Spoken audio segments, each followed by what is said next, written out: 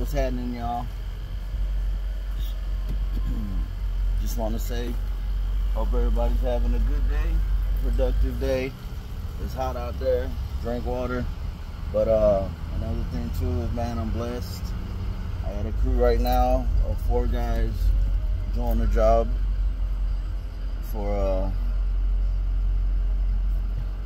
doing a demo job, and I'm gonna go look at these other two jobs and Mary's or one in Marysville and one in where we're at now. So I'm gonna look at these other two jobs and then try to get some lined up so we can have constant work.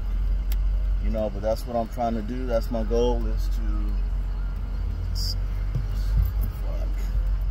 is to start putting uh, people in position to uh, do the work while I go and get the job, you know, so. They're working right now, so it's hot as y'all can see, it's only 10 in the morning, um, but I'm just blessed and I'm thankful, you know, and just trust God will get you through anything, you know, if you believe, you know, so until then, y'all have a safe day, enjoy the heat, drink water, Stay hydrated, stay blessed. Vaco, baby.